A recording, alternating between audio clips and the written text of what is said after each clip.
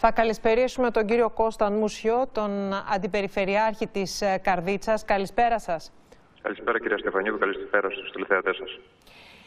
Όταν κατέβηκα στη Θεσσαλία και γύρισα τα πλημμυρισμένα τα χωριά, ε, η μαρτυρία αυτή που ακούσατε, εγώ την, τη μαρτυρία που ακούσατε, εγώ την άκουσα στο τετράγωνο. Δηλαδή, σε όποιο χωριό κι αν πήγαινα, βρισκόταν ένας άνθρωπος σαν και αυτόν που καταγράψαμε με την κάμερα του Α, με τον οποίο μίλησε η Ρένα Κουβελιώτη, να καταγγείλει ότι κάποιοι έσπασαν αναχώματα για να σώσουν τις μεγάλες πόλεις πνίγοντας τα χωριά. Θέλω λοιπόν να σας ρωτήσω, εάν την εντολή για να σπάσει το ανάχωμα στον Καλέντζη, τη δώσατε εσείς; Καταρχάς να το πάρω από, την, από το πρώτο σκέλος της ερώτησής σας. Ναι. Πράγματι έχει δημιουργηθεί μια τοξικότητα γιατί ο συγκεκριμένος κύριος από την ε, επόμενη μέρα βγήκε και έκανε μια ανάρτηση για το συγκεκριμένο θέμα. Μια ανάρτηση η οποία είναι εντελώς αναλυθής, όχι ως προς το τομή στο ανάχωμα, αλλά προς την κατεύθυνση των υδάτων. Και είναι πολλά θέματα τα οποία θα απαντήσω και θα σας πω στην πορεία. Θα σας πω λοιπόν τι έγινε το συγκεκριμένο βράδυ. Εμείς είχαμε μισθωμένα ε, περίπου 30 μηχανήματα. Τα 15 ήταν στα επικίνδυνα σημεία, σε γέφυρες, σε αναχώματα, εκεί που και στο παρελθόν είχαμε πλημμυρικά φαινόμενα. Και άλλα 15 μηχανήματα τα είχαμε δώσει ε, σε Δήμους και τοπικές κοινότητες, οι οποίες μας τα ζητούσαν για να κάνουν διάφορες εργασίες. Έτσι λοιπόν ήταν και ένα μηχάνημα εκεί στο Κοσκινά. Το βράδυ λοιπόν, εγώ εκείνο το βράδυ ήμουν στην Καρδίτσα. Γιατί είχαμε πλημμυρικά φαινόμενα και στην Καρδίτσα. Ε, είχε προσκώσει επικίνδυνα ε, ο Καλέτζης και έλαβα ένα τηλέφωνο, τηλεφώνημα από τον Δήμαρχο Παλαμά, από τον κύριο Σακελαρίου, και μου ζήτησε ένα μηχάνημα για να γίνει τομή στο ανάχωμα γιατί θα πνιγεί ο Κοσκινάς. Το απάντησα ότι εάν θεωρεί πως η λύση αυτή είναι ενδεδειγμένη, ε, να το κάνει. Μου είπε πως πρέπει να γίνει και δεν υπάρχει άλλη λύση. Και εξάλλου στο παρελθόν είχε κοπεί ε, το συγκεκριμένο ανάχωμα, είχε ε, γίνει τομή και κατά τον Ιαννό και στον Διομήδη. Είναι δηλαδή μια κίνηση η οποία κατά κάποιο τρόπο ε, έχει δίνει μια αντιπλημμυρική προστασία και είναι by the book. Όταν φουσκώνει δηλαδή ο Καλέτζης στον Κοσκινά, για να μην πνιγεί ο Κοσκινάς, κάνουμε μια μικρή τομή στην δεξιά πλευρά για να φύγουν τα νερά στο, στα χωράφια. Ένα λεπτό λοιπόν, ένα ναι. λεπτάκι. Μία ανωτελεία. Ναι. Αυτό όντως είναι μια πρακτική αντιπλημμυρικής ναι. προστασίας, όπως μας εξήγησε εχθές και ο κύριος Εξαιρετικά κύριε Μυρονόπουλος, εξαιρετικά, ναι. ναι. Ο καθηγητής Πανεπιστημίου. Ναι. Από την άλλη, είπατε ότι είσαστε σε συνεννόηση με τον δήμαρχο της περιοχής, ε, μπορείτε να μου επαναλάβετε, τον κύριο Σακελαρίου, με τον οποίο επικοινωνήσαμε χθες, ναι, ναι. Τον κύριο Σακελαρίου επικοινωνήσαμε χθες, αλλά δεν ήθελε να μιλήσει. Τον είδα σήμερα στο Open. Μίλησε σήμερα. Τον είδα στο Open. Ναι. Όχι μόνο μίλησε, αλλά ε, επέμενε ναι. ότι.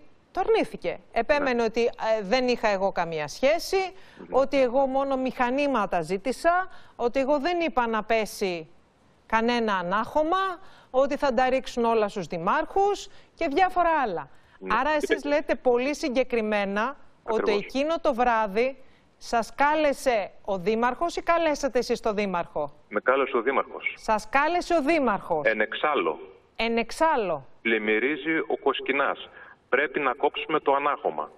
Σας κάλεσε ο κύριος Σακελαρίου, σας είπε ότι πλημμυρίζει ο Κοσκινάς, σας ζήτησε να κοπεί το ανάχωμα και σας ζήτησε κάποιο μηχάνημα. Βεβαίως. Αντιπεριφερειάρχη. Αυτή την εκτίμηση για το τι, ποιο, πού πρέπει να γίνει διάνοιξη και πού όχι. Ποιος την παίρνει, δηλαδή υπάρχει κάποιος μηχανικός, ειδικός, κάποιος άνθρωπος ο οποίος να έχει μια γενική εικόνα να συντονίζει ή μεταξύ σας εκείνη την ώρα, την ώρα της πλημμύρας, παίρνει ο κοινοτάρχης, ο δήμαρχος στην περιφέρεια και γίνονται επιτόπου συνεννόηση. Υπάρχει κάποιο σχέδιο αντιπλημμυρικής προστασίας που το εφαρμόζεται; Να σας πω. Ε, ο κύριος Ακελαρίου είναι δήμαρχος 10 χρόνια έχει μεγάλη εμπειρία και στη συγκεκριμένη εποχή, ε, περιοχή και ξέρει και πού ε, πηγαίνουν και πού, πού πηγαίνουν τα ποτάμια και πού καταλήγουν τα νερά. Έχει μεγάλη εμπειρία. Αυτή την εμπειρία λοιπόν την δοκιμάσαμε και στον Ιαννό και στο Διομήδη. Η ίδια κατάσταση έγινε και στον Ιαννό και στο Διομήδη, όπου πάλι με πήρε τηλέφωνο ο κ. Σακεραρίου και μου λέει πρέπει να, τε, να κάνουμε τομή στο ανάγχωμα. Αντιπεριφερειάρχη, συγγνώμη που διακόπτω. Συγγνώμη, μισό λεπτό. Αν ο Δήμαρχος δεν έχει εμπειρία, γιατί είναι νεοεκλεγέντας. Αν ναι. δηλαδή αυτό είχε γίνει πρώτη νεοεκλογής, ναι. ναι. είχε γίνει πρώτη Φλεβάρη. Ναι. Εάν ο Δήμαρχος είναι από... δεν γνωρίζει καθόλου την περιοχή γιατί ήρθε πρόσφατα να μείνει εκεί. Ναι.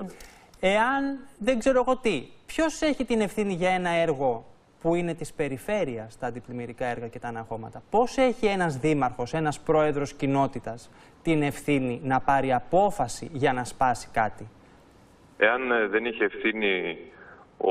Για έργο της περιφέρειας. Ναι, αν, δεν είχε ευθύνη ο δήμαρχος, ε, αν δεν είχε εμπειρία ο δήμαρχος, ε, είτε θα έστελνα την ε, υπηρεσία, είτε θα πήγαινα εγώ ίδιος να το δω.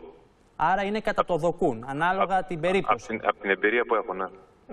Να ρωτήσω και κάτι ακόμα. Ναι. Ο χωματουργός που επικοινωνήσαμε ναι. χθες, επειδή επιμείναμε πάρα πολύ. Ο χωματουργός είπε, σας είπε την αλήθεια. Εντολή. Σας είπε την αλήθεια.